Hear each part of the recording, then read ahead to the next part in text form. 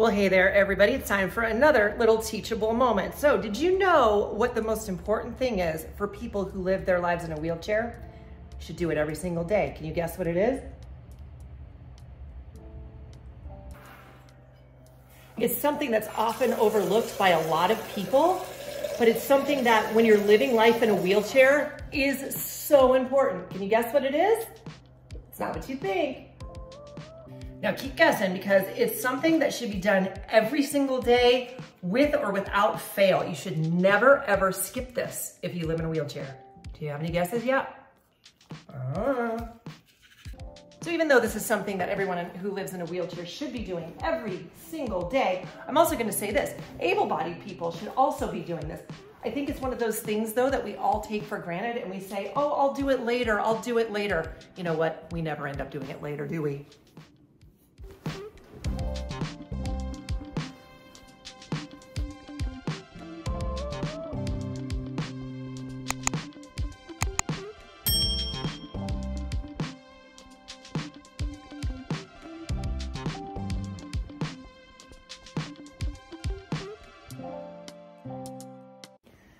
How many of you guessed it was stretching? You can do stretching anywhere. You can do it here on your bed. You can even stretch on your sofa while you're watching your favorite show.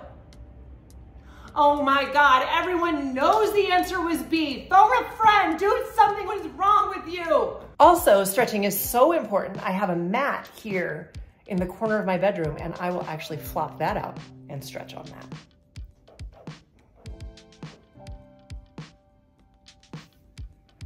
Now, you don't need some big fancy setup in order to stretch, right? I just have a mat that I got on Amazon and I put it on my floor in my bedroom. As you saw, I can also do it on my bed. I can also do it on my sofa.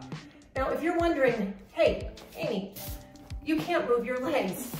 Why is it so important for you to stretch? Well, think about this, right? So I'm sitting all day, every day. Think about when you're sitting at a desk for work, right? How your back starts to hurt, how like you're just like, I just want to stand up. Well, I don't have those feelings, right? So I have to stretch on my own. But sitting in a chair all day, every day can cause a lot of problems. What it can cause problems to is your hip flexors, which are those muscles that are right in your front if you go down from your hip bone down.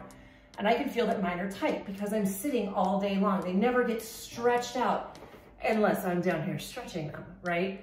Also, your IT bands can get tight, which can cause your pelvis to move forward or backward, causing you to either hunch or to overextend, which can cause other problems. Also, let's talk about our feet, right? So you're up and walking all day, every day. Your Achilles tendons get stretched. You would think that mine would by being on a foot plate all day long, but that's not the case at all. We can get drop foot very easily, which is where you can't get your foot back in this position. It only wants to go like that, and that is so bad. So we stretch our feet as well. It is so important to do this, and I know a lot of us overlook doing this because we're like, hey, we've got our day to do, we've got to go work out, but we need to make this a part of our workout because it is important. It's important for our muscles, it's important for our tendons, our ligaments, our bones. Although it's not gonna strengthen our bones, we do have some other things that can help us with that. It's not gonna help strengthen them necessarily, but it's just gonna give you better range of motion. It's gonna make it so that when you have to sit all day, your back doesn't hurt so you don't have to do all these crazy things that you see a lot of us doing. My friends can always tell when I am uh, not stretching or not sitting right because what'll happen is here, on this arm specifically, I'll get tire marks because I lean, right? Or I'll lean on this side. Whatever side is feeling whatever kind of angst or whatever you want to call it, that's the side that we lean to. So that's another way that we stretch. Another thing that's super important as I'm talking about this is mobility. So I have one of these. It's just, it's a cane. You can also get this on Amazon. It's got little balls on the ends of all of these things. And what you can do is you can dig into these muscles. I dig in mostly to my rhomboids, which are in the back. Um, and I'll show you where those are because from pulling, which is pulling up my wheelchair to get it into my car, right? Pulling myself up to get into a higher car. That's all the pulling that your rhomboids do. So your rhomboids are the ones that when you do rows in the gym and you get on that machine and you pull like this, you're obviously using your lats, using your shoulders, but you're also using those rhomboids, which are if you go, here's your spinal cord and here is your scapula, it's kind of right here, right? You kind of get those balls in there. So we do this. I also will do it. Oh, this feels so good. Hold on, we're gonna stay here for a minute. Six and a half hours later. I need a massage like nobody's business. That's another part of being uh, in a wheelchair that is really helpful is if you are able to get a massage, highly recommend trying to do one. This one, I can also dig into my lats. I can dig into my pecs if I need to. I can dig into anything.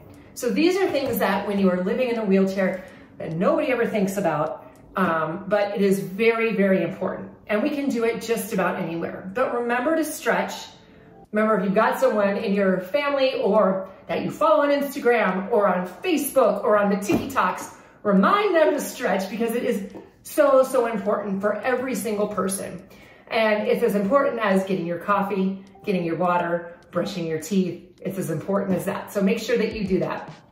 And until then, my stretchy friends, I hope you have a beautiful day. Remember to be kind to yourself, be kind to others. Everyone's fighting a battle that we know nothing about and have an awesome day. Until the next one, I'll see you later. Be well.